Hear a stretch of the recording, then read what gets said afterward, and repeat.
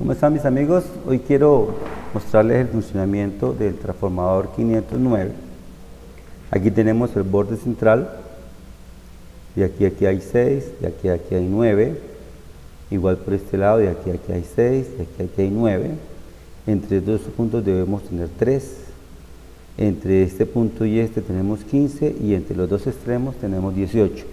Eso puede variar un poco debido al voltaje de entrada. Normalmente si el voltaje de entrada está alto, va a dar un voltaje más alto.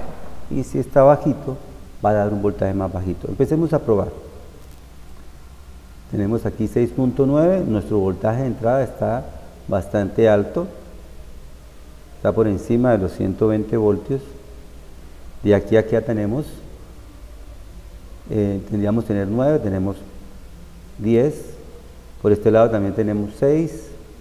Aquí tenemos también 9, que ahora son 10 entre estos dos puntos hay 3 voltios, muy bien, ese sí está correcto, y entre este punto y este hay 3 voltios.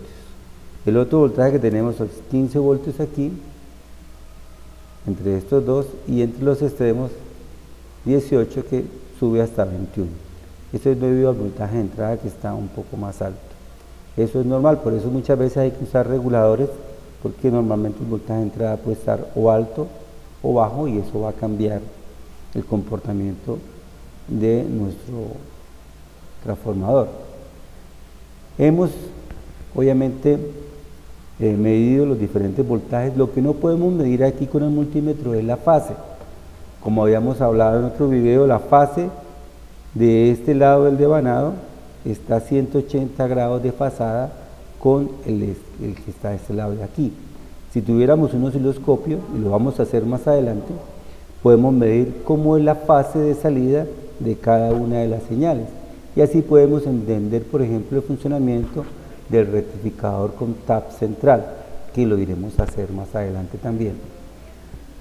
Bueno, este es el principio del funcionamiento del transformador 509. Tenemos un voltaje de entrada de 110 voltios a este lado.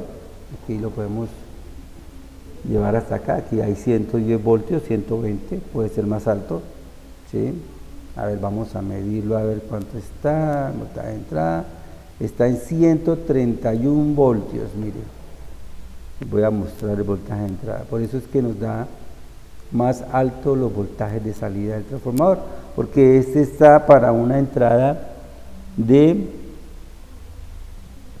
120 voltios. Muy bien, con este video vemos, hemos visto el funcionamiento de nuestro transformador 509. Muchísimas gracias, hasta luego.